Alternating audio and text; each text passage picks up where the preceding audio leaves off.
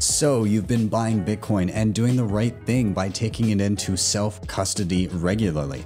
However, did you know you could be setting yourself up for a shock when you go to move your Bitcoin later and are faced with hundreds, if not thousands of dollars worth of fees? Today, we're going to take a look at how to avoid this problem by utilizing something known as UTXO management. I am Ben with the BTC Sessions. This is your daily session.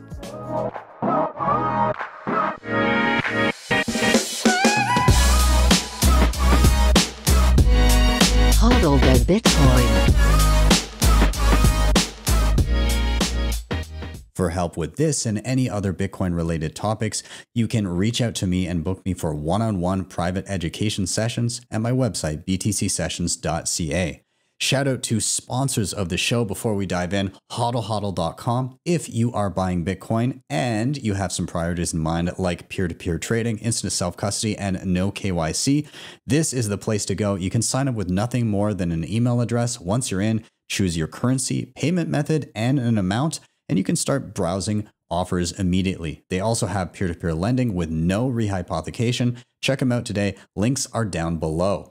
Now, when you do stack some non KYC sats, CoinKite has you covered with some of the best hardware on the market. Of course, you guys know I love my Coldcard Mark IV. I have all their other goodies like tap signers, sats cards, block clocks, you name it. I've pretty much got it. And I've also pre ordered the hell out of the Coldcard Q. If you want to reserve one or if you want to pick up anything else I mentioned, head to coinkite.com, use code BTC Sessions for a heavy discount at checkout. Now, backups are also important. Seedor has one of the most robust and beautifully designed steel backups on the market. This has a disc and capsule design. Their starter set comes with everything you need to get started with one or two seeds. And should you ever need to swap out your seed words, you can simply get more discs and not have to replace the entire system. You can check them out at seedor.io, and I have specific links depending on where you're shipping to in the show notes down below. Now, Nunchuk has you covered for your assisted multi-sig needs. These guys, they basically get you set up very simply on your mobile device. Once you're set up with your multi-sig, you will hold three keys. They will hold one. In this situation, you now have your peace of mind so that your sats can get to your next of kin should anything happen to you because they have baked in inheritance planning. And one of my favorite things about them is that the whole thing is no KYC, meaning you don't need to give up your private information to set it up and have it work for you. I've done a full tutorial you can check out, and you can head over to nunchuk.io to learn more. And finally, shout out to Start9, your sovereign computing solution. These guys sell plug and play devices to run your Bitcoin and personal data stack. So this includes things like Bitcoin Core, your Lightning node, mempool.space, Join Market, as well as things like files, passwords, photos, Nostr relays and clients, AI clients, all kinds of stuff that you can run in your own home. They have devices starting from entry level all the way up to what I'm running, which is the Start9 Server Pure. You can check them out at start9.com. And with that, let's dive into the tutorial. So let's start with prerequisites. What are you going to need to know to successfully navigate through this video? I am making a little bit of an assumption here that you have already purchased some Bitcoin and taken self custody of it. However, if you are not in that camp, this video can later be used to help you form good habits for when you are purchasing and taking self custody of your Bitcoin. But you will likely need to go back and learn how to one, buy Bitcoin, and two, get your own wallet. The wallets that I use in this video, I will have links for down below so that you can go through full tutorials of them as well if need be. Um, and I'll make some generalizations of how this might work in the wallets that you are using if they are not the ones in this video. So more or less, all you need to know is how to do some basic Bitcoin transactions. And we'll say it's a definite bonus if you have used Sparrow Wallet before, but not fully necessary because I'll try to explain what's in front of us as we reach those points.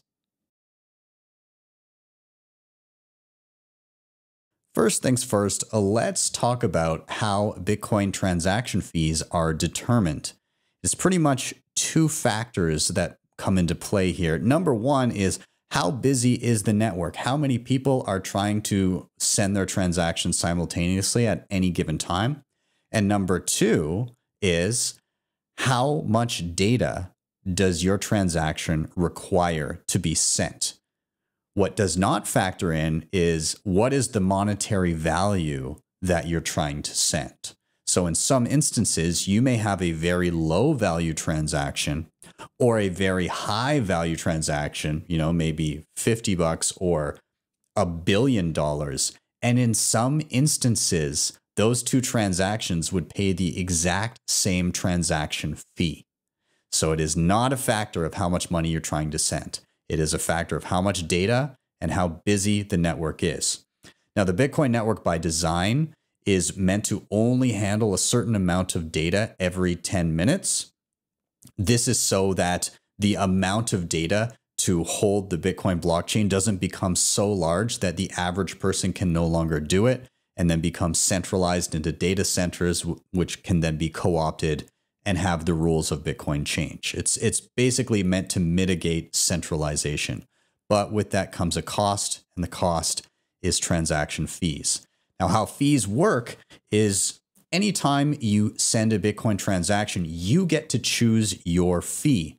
However, there's no guarantee that your transaction will go through quickly. You may be stuck waiting in line if you attach a low fee until the high fee transactions go through first, and then you're next in line and your transaction will be relayed. In some instances, if you set too low of a fee, your transaction will never be picked up potentially and will just revert back to the sending wallet.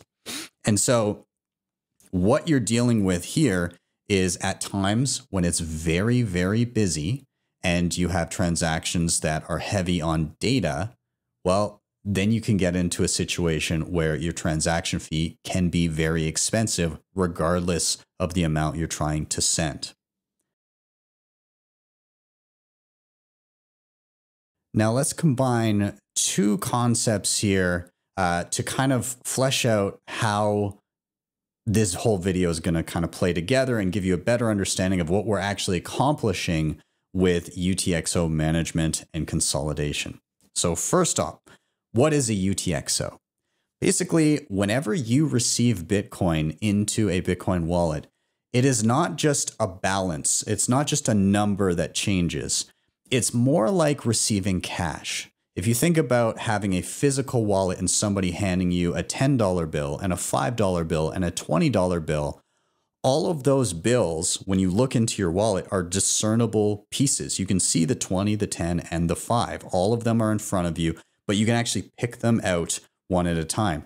The same is true of Bitcoin. Now, it's not set denominations. Obviously, you can receive any amount of Bitcoin, but when you receive it into your wallet, whatever the amount was that you just received sits there as a discernible chunk of Bitcoin, and that is a UTXO. It stands for unspent transaction output.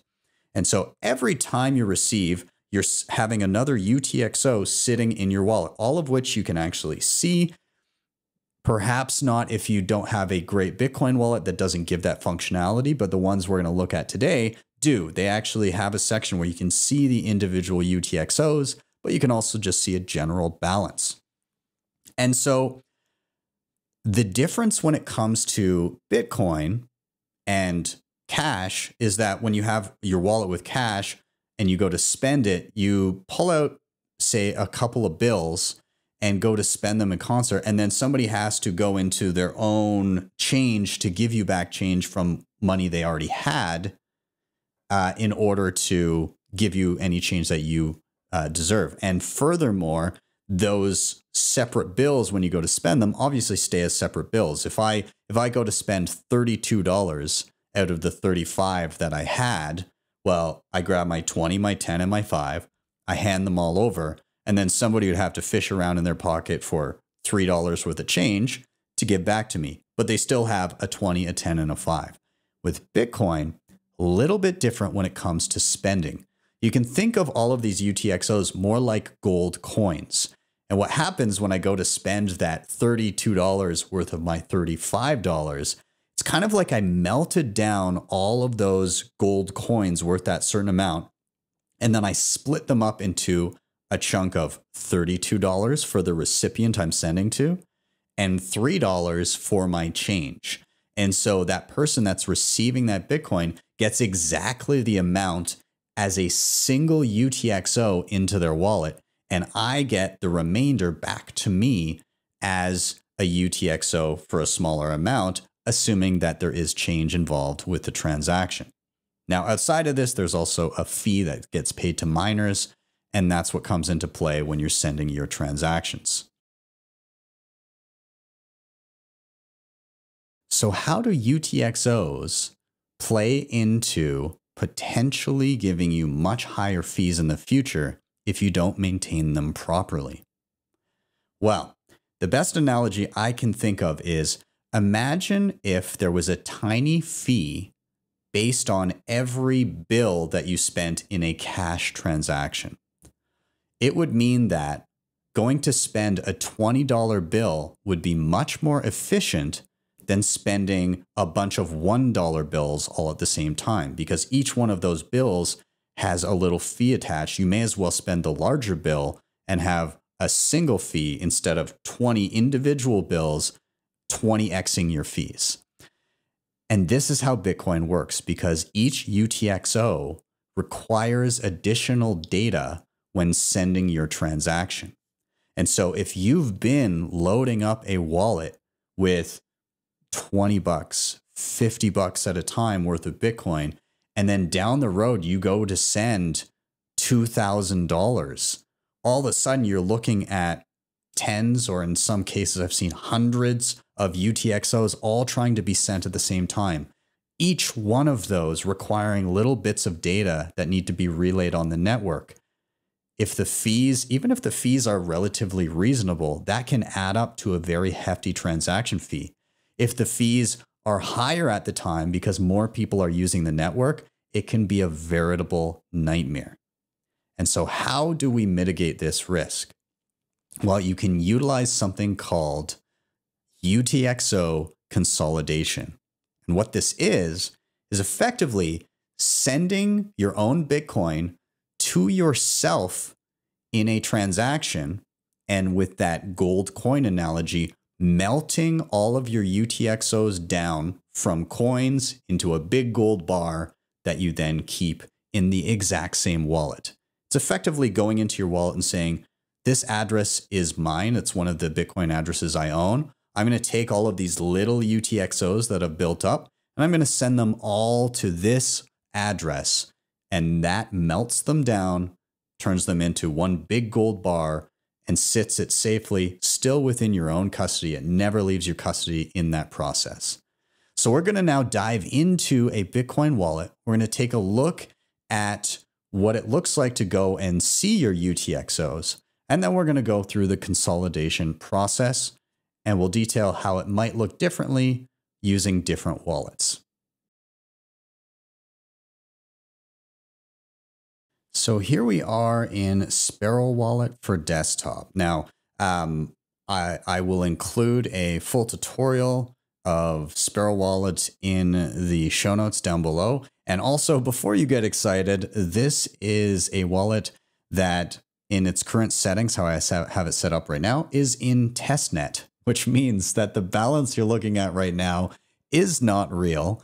Um, these are testnet coins, which have no monetary value but allow you to test things and learn how things work before you deal with real value. So uh, these are these are not real coins that are sitting here. Although that would be nice. It'd be pretty nice to have that wallet sitting there right now.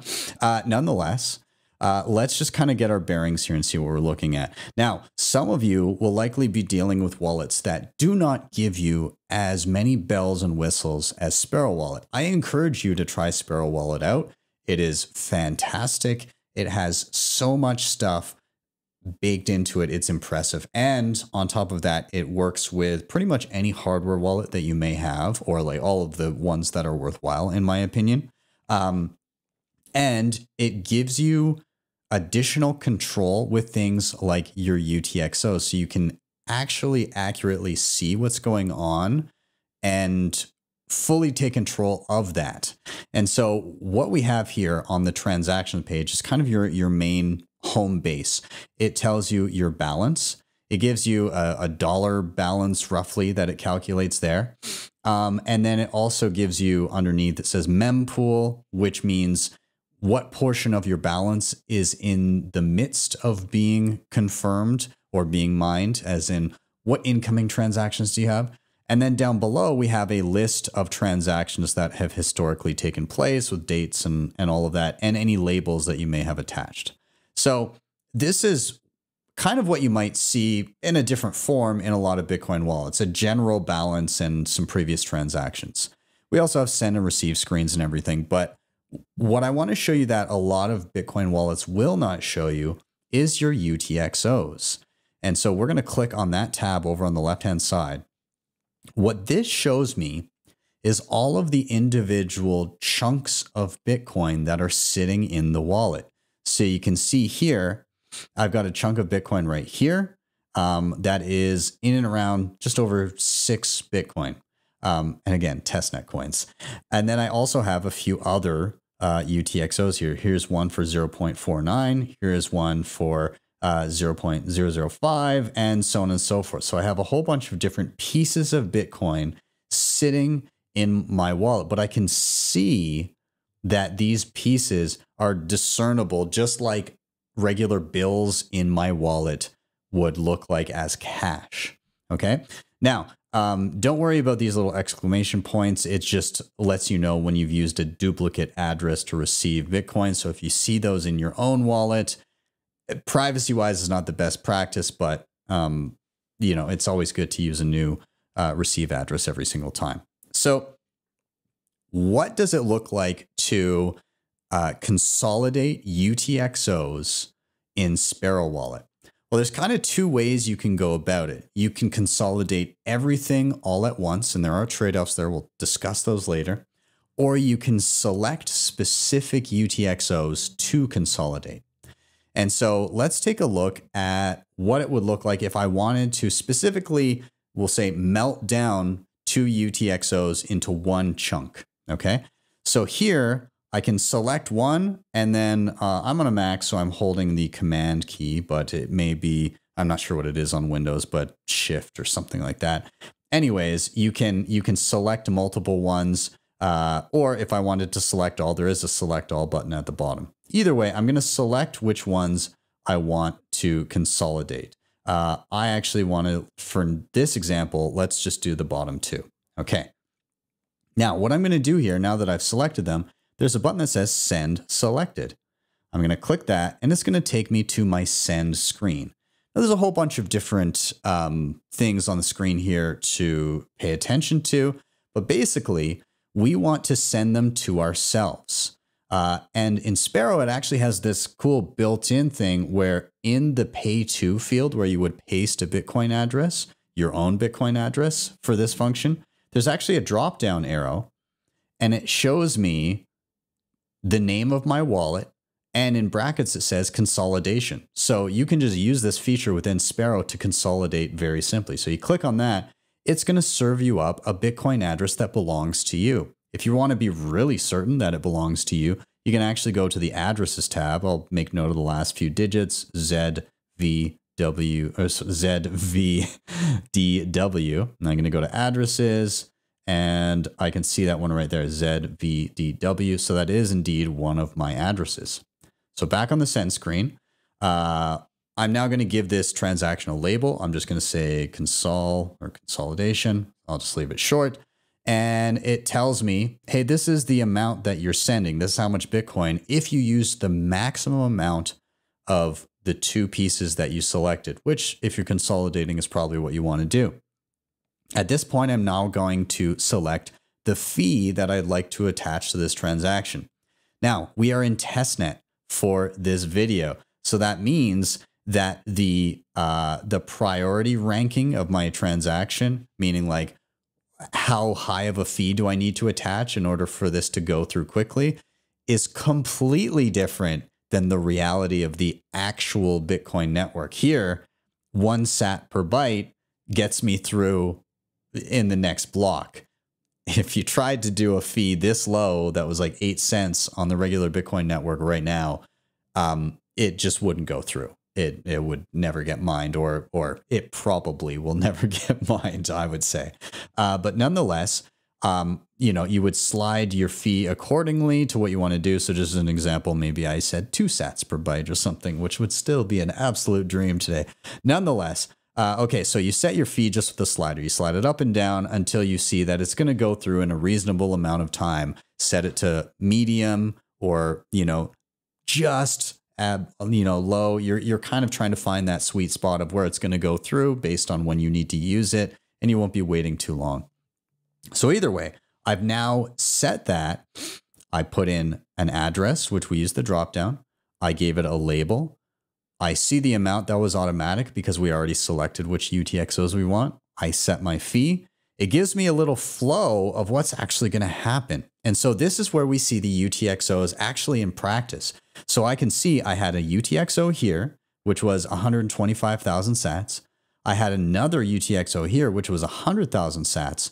Those two pieces are melting down and coming together, and they are splitting into the big chunk that is going to me. That is going to be a total of 224,000 some odd sats.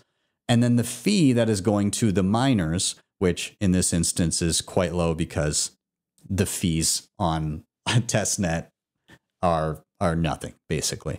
So either way, this is kind of what this flow chart is going to look like in your wallet on Sparrow, but it gives us a nice visualization of what's actually happening with our UTXOs. They're melting down and they're splitting into a big one for us and a smaller one for miners.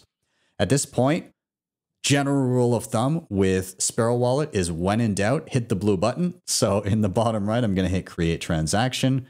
This gives us a summary. I hit the blue button to finalize. And then because this is a hot wallet, um, I don't have like a a hardware wallet or something attached to this, I can just simply hit sign. If you're using a hardware wallet, there's going to be different steps to that. Go to my Sparrow video to see what that looks like. Either way, I'm going to hit sign. So basically, I've signed off on the transaction. This is okay to send. And then again, finally, blue button, broadcast. This will then be sent off to the network. I get a notification. And it does look a little funny when you send a consolidation transaction because your wallet knows that it's sending to itself. So all you see from your transaction history is the fee going out. You don't see anything else. It's not like you sent those 200 and some odd thousand sats. It's that I just sent the fee and nothing else exited my wallet. So it's going to look a little funny and I'll show you what that looks like. Now in Sparrow, every time you do a transaction, it creates a new tab for that thing. So I named it console. I can just X out of that tab because I'm done with that. You can see I'm uh, back on my send screen, everything is, is wiped because I used the transaction. It gives me a fresh start. To see what I've just done, I can go back to transactions. And here's that transaction here. I can see it because the label there, it's unconfirmed. It's not fully mined yet, we'll say. Um, and you can see it just shows that there's a small amount of Bitcoin going out of my wallet. All right. And it shows my total balance then beside it. So it just shows the fee. It doesn't show the actual movement of funds because it stayed in my own wallet. Now, if we go back to UTXOs, what we'll see is we have two less UTXOs that went out, and we have a new one that is unconfirmed, uh, but still there for a larger amount. We now have a UTXO that is worth 224,000 sats roughly. And so we've melted down two pieces and we created one. So that is one instance of how to selectively do consolidation. But let's just say you, you just want to do the whole schwack of your UTXOs, consolidate them all down to one. How would you do that? Pretty simple. Go to your send screen, hit that drop down arrow, select consolidation. That's going to grab an address that you own. I'm going to do the same label because I'm doing the same thing. This time I'm going to hit the max button off to the right. That gives me my entire balance. I can then set my fee to whatever it's going to be, blah, blah, blah. Again, this gives me my flow chart of what's happening with my UTXOs. You can see I've got four of them one, two, three, four. They're all melting down. They're creating one large one minus the fee going to miners. Blue buttons take us through. Oh, and we can see that old uh, transaction confirming, by the way. Either way, blue button, blue button, blue button, off it goes.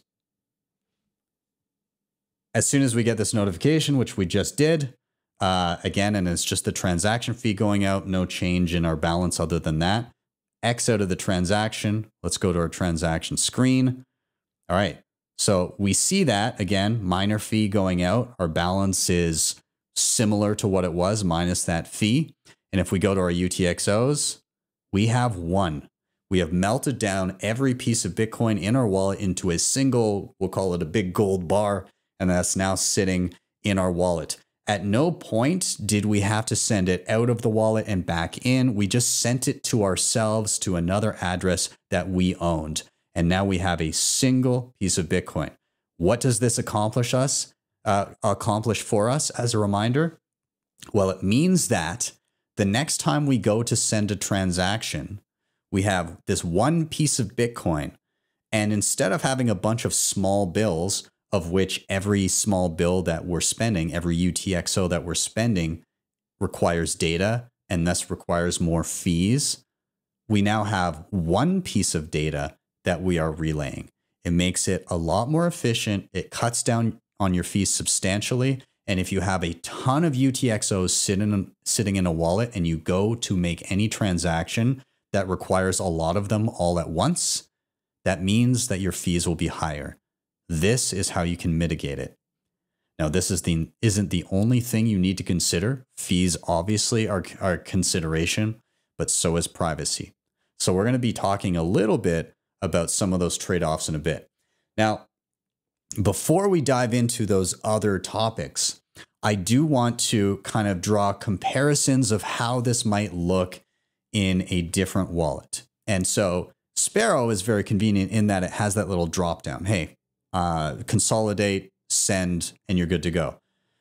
Other wallets may not give you that optionality. And so, how might you do that in a scenario where that's the case? Well, to do it very simply, what you would do is you would go to whatever wallet you're using, you would hit receive, and you would grab your own address. You would copy it. Then you would go to whatever your send screen looks like, and you would paste that same address into your send field. If you have a label, you would add a label, whatever, uh, and then you would choose an amount and you would basically send everything feasibly everything to that address if you're consolidating all of it. I'm assuming um, that a lot of wallets that are being used may not have uh, UTXO options where you can select your coins. There are some that do. Nunchuk on mobile is awesome for that. You can select your coins and all of that. So if you're using on chain on mobile, Nunchuk is a is a fantastic option. Um, but others will not include those awesome features. So just be aware that if you're trying to consolidate within an existing wallet, grab your own address and send your full balance to it. You can do a test transaction if you want with a smaller amount and then do the rest. But just be aware that uh, this is how the flow will go external to something like Sparrow or Nunchuk.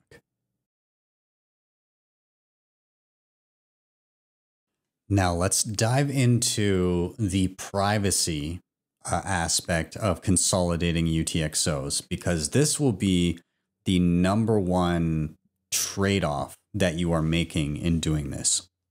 and so, why is that? what are the privacy implications of consolidating UTXOs? Well, first of all, during the consolidation, any person that knows you owned any one of those pieces of Bitcoin will see it move together to a common address with all of those other UTXOs and become one. And so if you had somebody that had paid you, uh, you know, a, a small amount, if they were looking on chain, they would be able to see that movement of funds. It wouldn't necessarily conclusively indicate that you own that Bitcoin because you could have sent it to somebody else who then, you know, consolidated, or you could have been something else could have happened there. But it might give an indication to somebody. Somebody may conclude that. Um, the other privacy implication comes with spending after the fact. So let's say that you you did this action. I'm gonna I'm gonna bring up this example in testnet uh, just to kind of show what I mean here. So this wallet, I've just consolidated all of these UTXOs into a single one worth about 6.6 Bitcoin or on this screen at the time of recording this video, if this was real Bitcoin, it would be worth almost $310,000. Now, I want you to think of that analogy that I made earlier in and around it's like a bill in your wallet. In this case, this is a single bill worth $310,000. Now, think of the act of paying for something with cash at a merchant if I were to pull out a bill worth a certain amount and pay for something, the merchant doesn't just see the amount coming through for the the item that I've purchased. Like if I buy a fifty dollar pair of pants or something like that, they don't just see the fifty dollars I spent; they see the change, right? Because the there is change made from that transaction. And so in that instance, if I used this UTXO to pay for a $50 pair of pants, I've now made that merchant privy to the fact that I own $310,000 worth of Bitcoin in that moment. And that is true whether it's a brick and mortar store or whether it's an online store that then ships you something or whatever it may be whoever the recipient of that transaction is, they can see the UTXO that they were paid from. And if you're paying an online merchant and that merchant is shipping you something, they now also have your home address. And so I'm sure you're beginning to piece together like, oh, wow, that's not ideal. Because if somebody sees that I've paid for a $50 pair of pants uh, with a bill that was worth $310,000, they may start thinking that uh, after they ship my item, they're also going to go buy a plane ticket and come to my home. so it's important to keep that in context and around that. Um, now, some of the mitigation techniques that you can try to strike a balance with is purposely setting the threshold or the size of the UTXOs that you have. Uh, and so perhaps you only want to have UTXOs uh, of a million sats, which at the time of recording this video would be in and around $470 or something, something like that, something to that effect. So in, in that instance, it's not a big deal if I buy a $50 pair of pants and you know somebody sees that oh he's got around 500 bucks and and don't decisively know everything else that's okay um, but you, you don't want to be flaunting your net worth every time you buy a candy bar. Not that you would necessarily buy a candy bar on chain, but you get you get my drift here. So UTXO size does play uh, a, a part in preserving privacy, but it is also a factor of what kind of fees do you want to uh, be paying as well. And so there's a balance to be struck as to what type of purchases do you picture making in the future and what size of quote unquote bills, aka UTXOs, do you anticipate needing based on what the price of Bitcoin might do. Now, there are other things that I'll talk about in final thoughts here in and around how this may look in the future, because this is basically just accounting for the now of Bitcoin. But take that into account, realize that with UTXO consolidation to save on fees, there is a privacy trade off that is made. So let's briefly touch on recommended UTXO sizes. What is the ideal size of a UTXO that you should store in your wallet? Well, I'd say based on some of the fees that we've seen over the past year or so, where they could be you know, in the next little bit. By the way, I'm filming this in early of 2024. Um, it's advisable to have UTXOs that are at least 1 million sats or 0.01 Bitcoin in size. As, as of recording this, Bitcoin's around $47,000, so that's $470 in that single UTXO. Now, that's not to say that you you um, can only spend Bitcoin in $470 chunks. Of course, there are layers and tools and stuff like that in and around Bitcoin that you can use for much smaller value transactions. We'll touch on that in the final thoughts. But in terms of on chain, those size of chunks of Bitcoin, those UTXOs should probably be in and around a million sats and beyond. When you start getting too small of a UTXO, you run the risk of a substantial portion of that being eaten up in fees to make a transaction. And in some cases, the UTXO may become unspendable. Now, how is that possible? How could a UTXO be unspendable? When I say unspendable, maybe that's not the best word for it. It just means that it's economically infeasible. It means that the fee attached to it will be worth more than the UTXO value and and so how that would work would be no matter what a UTXO takes a certain amount of data in order to send that transaction. Even if you've only got one there's still a certain amount of data that is required to relay that transaction. Now transaction fees are dictated by again how much data and how busy is the network? What are people bidding uh, as they freely choose their fees? And so that is measured as sats per byte. How many sats are you willing to spend per byte of data that you are relaying? And so if you have a UTXO, that UTXO requires a certain number of bytes of data to be relayed, uh, and you have a sats per byte denomination that the number of sats paid times the number of bytes of data that your transaction requires, if that number equals more than the UTXO is worth, then you're in a situation where it's effectively unspendable. And it wouldn't matter if you added more UTXOs to the mix, that particular UTXO and anything below that size, they're all unspendable because even if you add another of the same size, it adds enough fees to completely undo the value added to the transaction. So, this is where you need to be conscientious and understand that UTXOs need to be a certain size to be economically feasible. No matter what, if you've got a UTXO that's like 5,000 sats right now, it is unspendable in the current fee environment. There, even if you added it to a larger transaction, you're paying more in fees to add it than any value that will get through. So you may as just well not add it at all.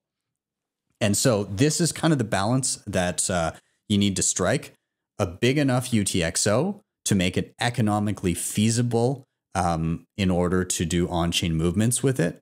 And it's not too large that it would compromise so much privacy that you would be worried that somebody knows you have it. So, again, a million sats plus in the current environment probably makes sense. But we'll talk about day to day spending in final thoughts here. So, I want to also offer you guys some awesome tools that can help you along your journey as you're kind of utilizing and understanding UTXO management. Um, First of which is going to be a website that can help you better discern fees. Now, if you're utilizing um, uh, Sparrow Wallet, this is where their um, their transaction fee slider rates are coming from in terms of advising you what is high priority versus low priority. Uh, but this is mempool.space and it gives you a, a, a picture of what the current fee environment is at any one time. On the right, you see blocks of transactions that have been mined by miners and are now added to the Bitcoin blockchain. On the left, you see blocks of transactions waiting to be mined. And uh, I guess the important part for you would be at the top of each block, there is um, an estimated fee required to get into or guarantee that you get into that block. And so we see the next block waiting in line, you would have to attach a fee of at or above 110 sats per byte per V byte uh, of data in order to successfully make it into that block guaranteed. Now, it might be less, it may be more, but you know, at this very moment in time, that's what it's telling you.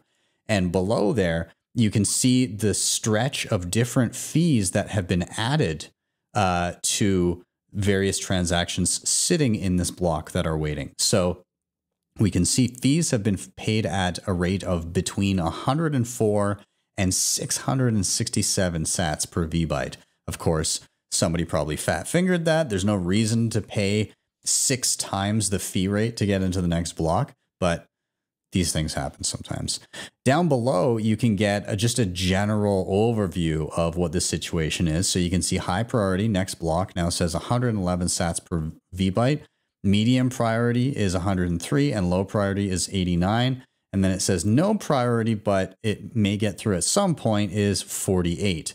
And then it does have a generalized uh, estimate of what that dollar value is in US dollars just underneath those fee rates. So this is a very useful site for me if I'm ever using a wallet that is not Phoenix Wallet, or sorry, if I'm ever using a wallet that is not Sparrow Wallet, this is where I tend to look to kind of double check if their fee calculation is looking accurate or if I can maybe drop it a little bit because it's telling me something different here. I would I would defer to this as my tool for that. Now, beyond that, we are talking about uh, ideal UTXO size, and from that we dove into a section talking about UTXOs being too small to spend in some instances. Well, this tool uh, made by Jameson Lopp, which I will link in the show notes down below, along with mempool.space, uh, he just made this tool not too long before I put together this video and it's about economically unspendable Bitcoin UTXOs, and it gives you a calculator. So up at the top, you have a list of what type of Bitcoin addresses you're using. Now, there's different types of Bitcoin addresses. Some start with a one, some start with a three, some start with a BC1, and then there can be variations thereafter. And depending on the type of address you're actually using, that also can impact your fee. We didn't touch on this earlier, but it was a little bit beyond the scope of this video. Either way, you're going to want to get, at the very least, a, a Bitcoin address that starts with BC1 is going to be your most efficient way of using Bitcoin.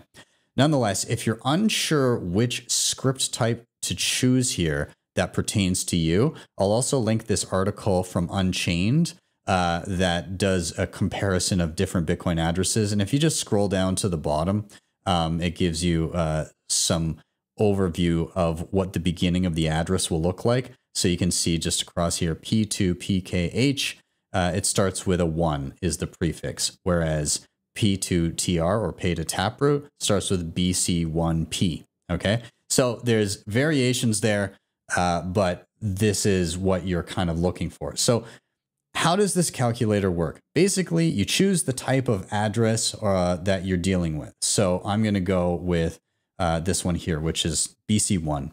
Um, and then it says how many signatures are required. Like, is this a multi sig or is this just a regular single sig? And I'm just going to say it's a regular single sig wallet. Now I'm going to hit calculate. And so what this will do, and you didn't see it there because I already had a chart up, but it it calculates the trajectory of how much you're going to spend in fees versus what is the fee rate. Okay, so basically, I'm looking along the bottom and I'm saying, well, what is the current fee rate? Well, what is the current fee rate? Right now, it is, we'll say around 98 sats per byte. So around 100. Okay, great. Well, I'll just slide along here and I can see at 100 sats per byte, any UTXO at or below 7,900 sats because that's what my fee would be with that type of address, with this type of fee environment. Anything at or below that is unspendable. The entire balance would go to miner fees. Anything above that would reach the destination. But also keep in mind, if it was double this, once that UTXO landed in the destination address, that one would now be unspendable. So it's it's important to, to think about these things. Okay.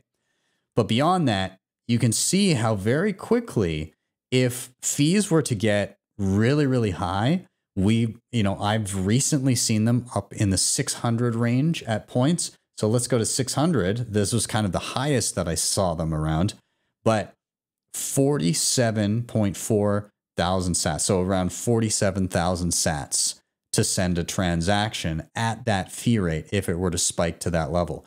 That means that anything in and around 50,000 sats is not spendable.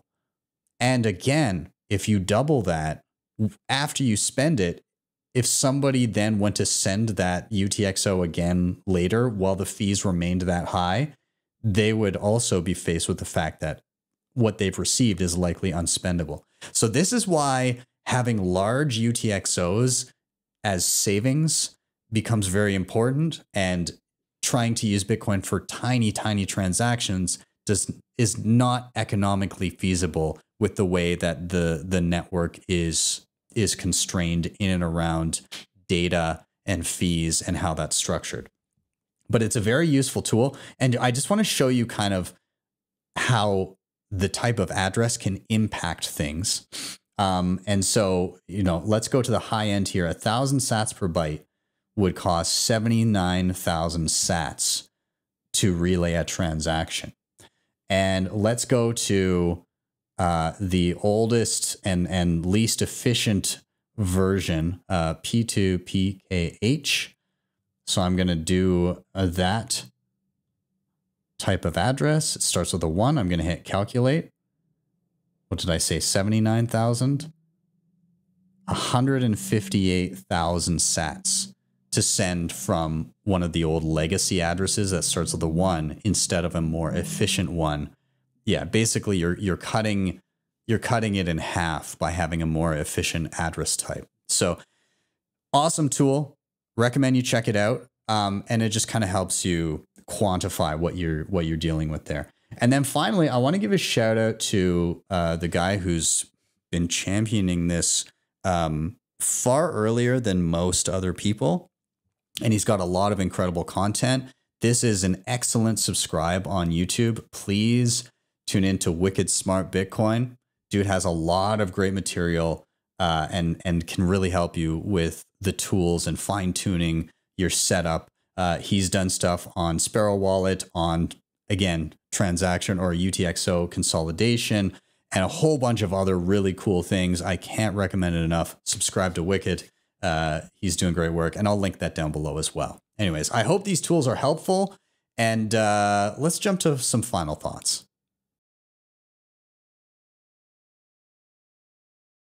We are all right now witnessing the birth of a new monetary system. And that's very exciting.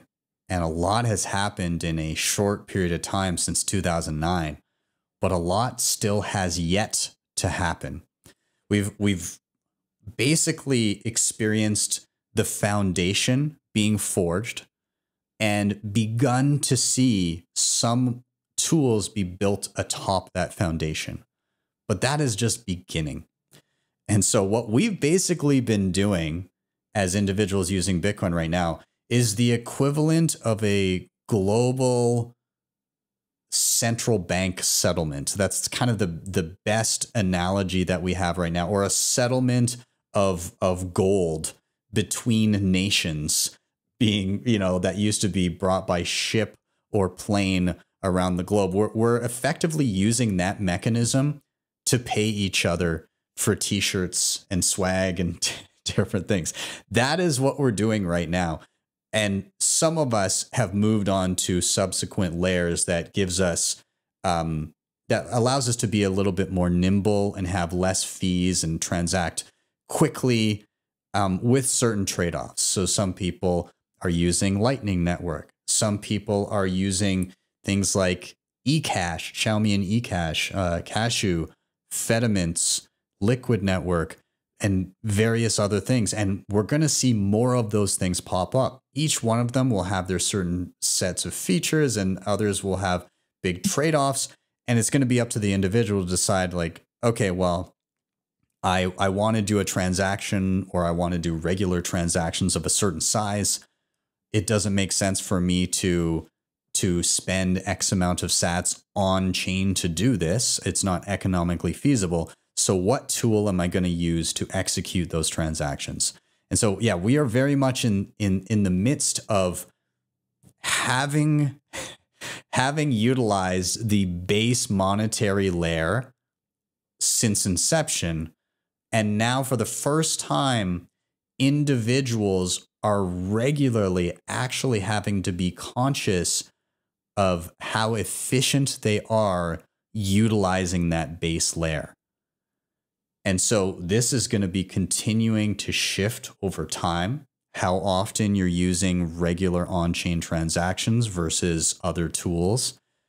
And it's going to be a bit of a moving target because we're, we're so early into the birth of Bitcoin and, and the forging of this new monetary system that no one person can say for sure exactly what it's going to look like five years, 10 years, 20 years from now.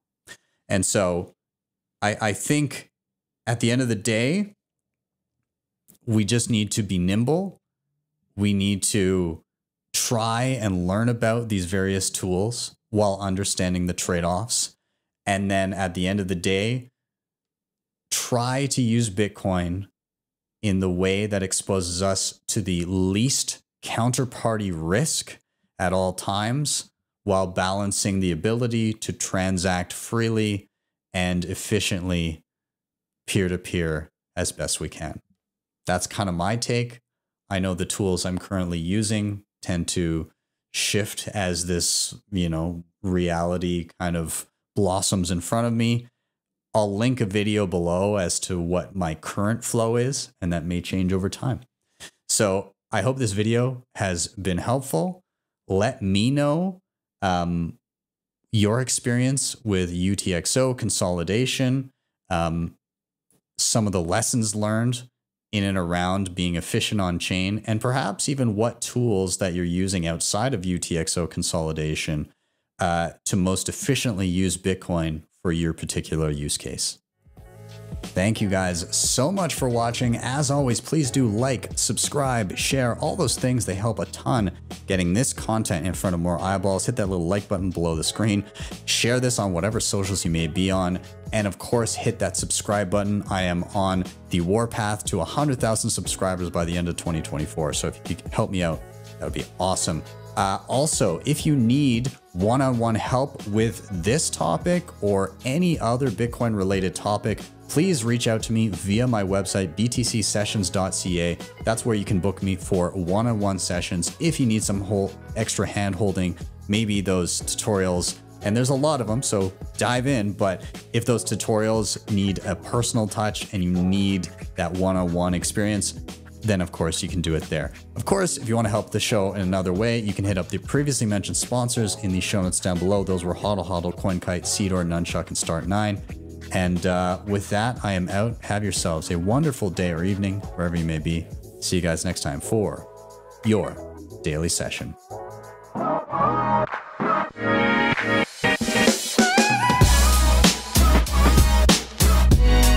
Hodl the Bitcoin.